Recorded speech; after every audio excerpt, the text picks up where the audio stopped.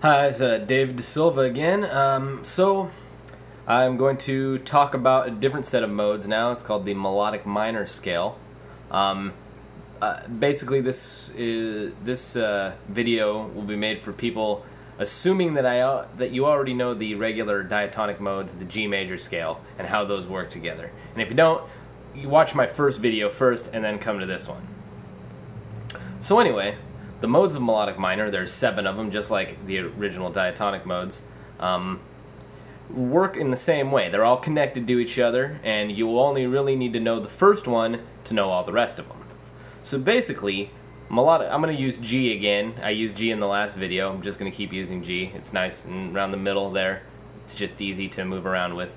So, anyway, so basically, melodic minor is basically major with a flat third, right? So instead of where major you had G, A, B, C, D, E, F sharp, G, you now have G, A, B flat, C, D, E, F sharp, G. So it's the only difference between melodic minor and the major scale is that flat third.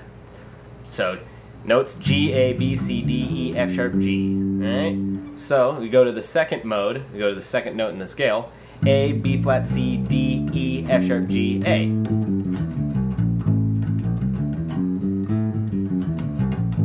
That makes a formation of what's uh, most commonly called Dorian flat 2. So you kind of notice a little pattern here. Uh, melodic minor was major with a flat 3, um, the second mode being Dorian flat 2. So kind of see a pattern going here. So, then go into the third, mo- third note in the scale, B flat, B flat, C, D, E, F sharp, G, A, B flat.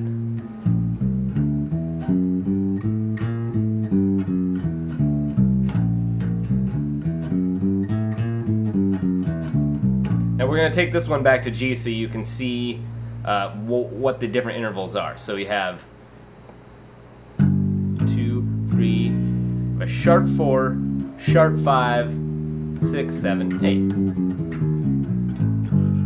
So this mode has a sharp four and a sharp five in it.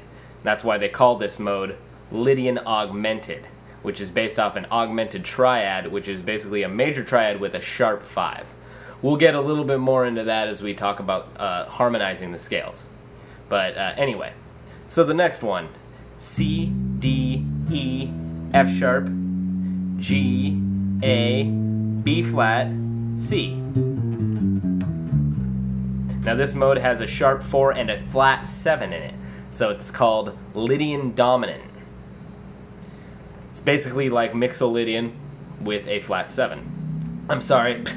It's like Mixolydian with a sharp 4. That's why they call it Lydian dominant. Anyway, next one. Fifth, fifth note here being D. D, E, F sharp, G, A, B flat, C, D. So basically, this has a flat 6 and a flat 7. Everything else is normal. So you can almost consider this one like a Mixolydian but with a flat 6. This one is called the Hindu mode because I guess because it probably gives you somewhat of that kind of Middle Eastern sound when played. So that is the fifth mode of melodic minor. Going up to the E, the sixth note in melodic minor. F sharp, G, A, B flat, C, D, E.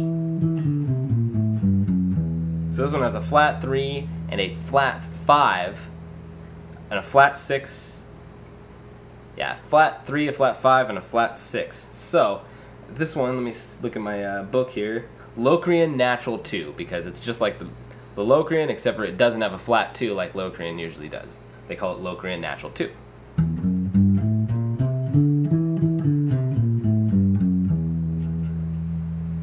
Last one, F sharp being the seventh note in the scale, F sharp, G, A, B flat, C, D, E, F sharp.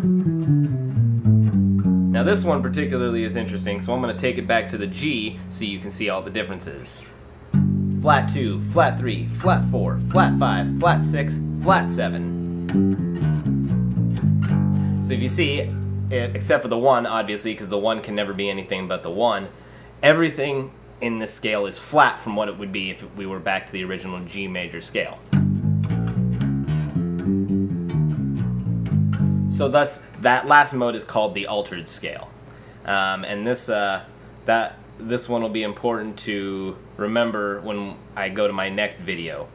So uh, I hope that was helpful. I was a little quicker on this one because I assumed that you already either knew the things in my previous video or watched my previous video. So if you want a little more in-depth analysis of what I just did as far as the conceptually understanding how modes work together, just watch my first video. It's a little more in-depth about that. And uh, the melodic minor modes work the same way. It's just the first mode is a little bit different, so thus all the all the subsequent modes are a little bit different as well.